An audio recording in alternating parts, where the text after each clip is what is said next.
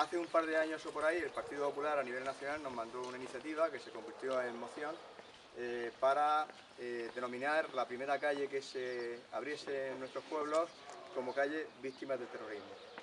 La idea era pues, un reconocimiento a esas personas que han dado su vida por la democracia y, por España.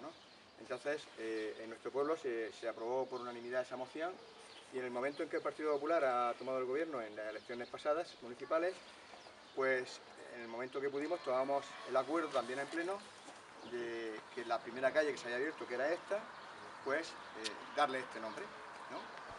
Yo creo que con esto hacemos un homenaje a las víctimas y que es un homenaje mm, que va a ser permanente, que va a perdurar en el tiempo y que siempre vamos a poder recordar a estas personas que han dado eh, su vida por, España.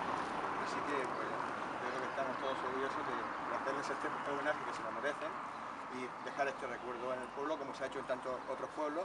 Hace un momento Rafael me decía que hace tres años lo hizo también en Blanca con una plaza y yo creo que, que se merecen como mínimo esto, un homenaje y un recuerdo para siempre. Así que con esto lo vamos por inaugurado, ¿verdad? Tiramos de la... Muy bien. Se lo merecen.